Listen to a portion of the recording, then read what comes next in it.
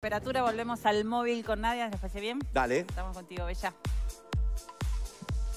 Muchísimas gracias, Cuca. Bueno, vamos a hablar de un tema que está bueno poner sobre la mesa. Seguro que, ustedes también eh, van a estar muy atentos a, lo que vamos a estar conversando con la doctora Yanela Macera en el marco del Día Mundial de la Toma de Conciencia del Abuso y Maltrato en la Vejez. Doctora, muy buenos días, bienvenida a Desayunos. ¿Cómo le va? Buenos días, muchas gracias. Muy agradecida por dar esta oportunidad a la Sociedad de Geriatría y Gerontología de Uruguay. Bueno, ¿por qué se crea este día? Bueno, este día en realidad comienza en 2006 y en la Asamblea de Naciones Unidas en 2011 lo aprueba como el Día contra el Abuso y Maltrato en las Personas Mayores, en la vejez. Después este, se llega a un consenso de varios artículos en los cuales se defienden los derechos de las personas mayores y eh, las libertades. ¿Cuál es el lema de este año? Porque todos los años se, pone una consigna diferente. ¿Este año cuál es? Sí, el lema de este año es la protección del adulto mayor, o sea, el adulto mayor en la mira de las emergencias. Cuando hablamos de emergencias hablamos de situaciones de catástrofe, de conflictos que pueden ser armados, de situaciones de enfermedad como fue la pandemia en nuestro país en el cual las personas mayores lamentablemente aumentan su vulnerabilidad en estas situaciones. ¿Por qué? Porque ante la crisis se crea un momento de estrés muy importante en el cual no se respetan las características de estas personas. Por ejemplo, las dificultades para movilizarse, por ejemplo, los déficits sensoriales, y también la parte emocional y todo lo que lleva a estas situaciones.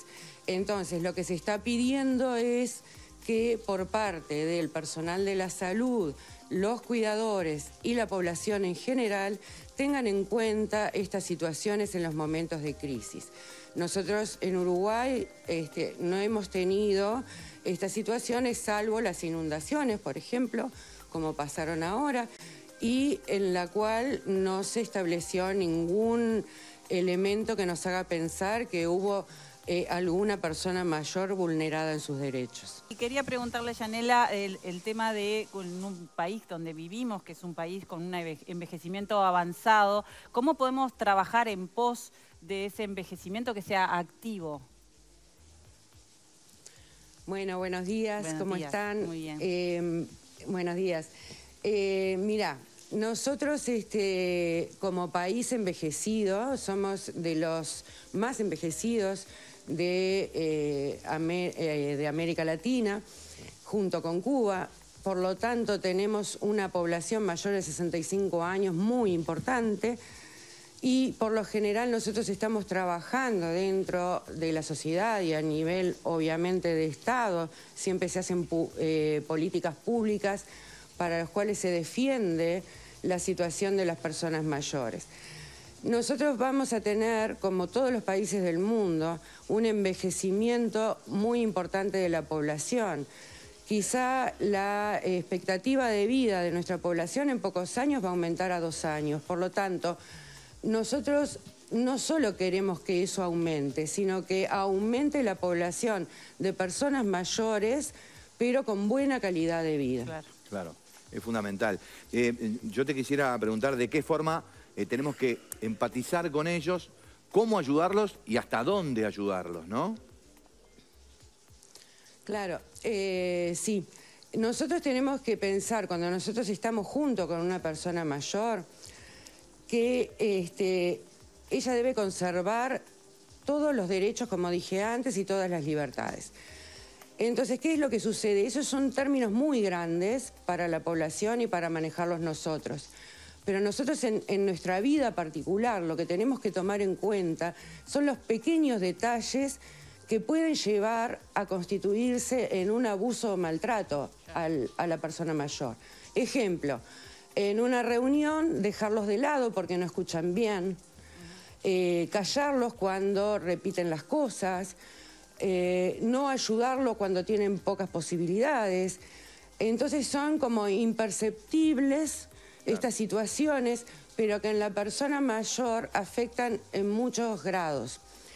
Y como yo siempre digo, eh, violentar o atacar o maltratar a una persona mayor es lo que nos están haciendo a nosotros mismos, porque de ellos venimos y a ellos vamos. Sin duda. Claro. Eh, doctora, ¿y cuáles son los mecanismos de control que hay donde lamentablemente también esos maltratos y esos abusos a veces pasan en instituciones donde se encargan del cuidado del adulto mayor y lamentablemente hemos visto un montón de denuncias, excesos con clínicas que ni siquiera están eh, autorizadas y habilitadas y lamentablemente ahí conviven los adultos con una complicación a diaria. Bueno, eh, estas situaciones son muy particulares. No siempre, eh, si bien hay que lograr una habilitación por las autoridades de estos centros de larga estadía, no siempre por no estar habilitados van se van a tener estas situaciones. y, quizás encuentras unos que están habilitados y, sí las tienen. Claro. Siempre, claro, estas situaciones van a establecerse siempre en el ámbito de las residencias, en el ámbito de la familia, en cualquier ámbito. Eh, por supuesto que cuando una persona ve este tipo de maltrato o abuso, debe denunciarlo. Y eh, realmente las autoridades responden prontamente a estas situaciones. Doctora, ya para ir cerrando, eh, ¿qué precauciones podemos tomar dentro de, de lo posible, por supuesto, para tener una vejez adecuada? Bueno, eh, yo siempre eh, comento esto, que para tener una vejez adecuada se empieza desde niño, ¿no? Entonces, este, lo importante que son este, varias consideraciones como la nutrición, como el ejercicio físico, que es fundamental. ¿Por qué?